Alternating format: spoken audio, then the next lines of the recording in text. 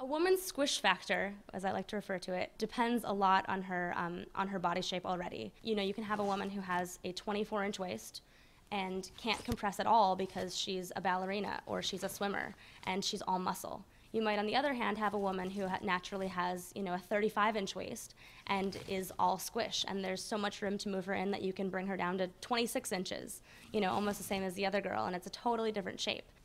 All right, let's try it. My name is Angela Friedman, um, and I am a freelance corset maker in New York City. In a measurement fitting, you can actually figure out how much squish a woman has. You can actually pull on her waist and see what's comfortable for her, what's too much, how much you can pull out of her. Woo. Just let me know if I pull too hard. Okay.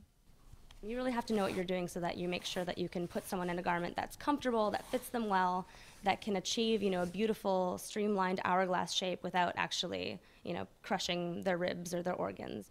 there you go. Whoa. You want to see it in a mirror? Oh my god. What? I can't believe that's my body. It absolutely is. You know, part of the beauty of corsets is that they look good on everybody. No matter what your body shape is, it'll still look awesomer when you put it in a corset. The whole issue right now with custom clothing is that people are kind of forgetting what it takes, how much work, how much experience goes into making a custom garment, and the same thing with corsets that goes into making a corset, that they don't necessarily realize, um, you know, how, how special that is. And that's kind of part of the difficulty that we live in this, you know, Walmart society where people go and buy something and it's dispensable and clothes don't necessarily mean something of importance to people like they used to 100 years ago or more. I actually have no idea um, if there's a specific number of how many corset makers there are in my area, in New York City, um, in you know on the East Coast or in the country. So far as around this area, at least, I don't really know any other corset makers. Pretty recently, I think that corsets have kind of come back into the fashion sphere as really a, a valid, important fashion item.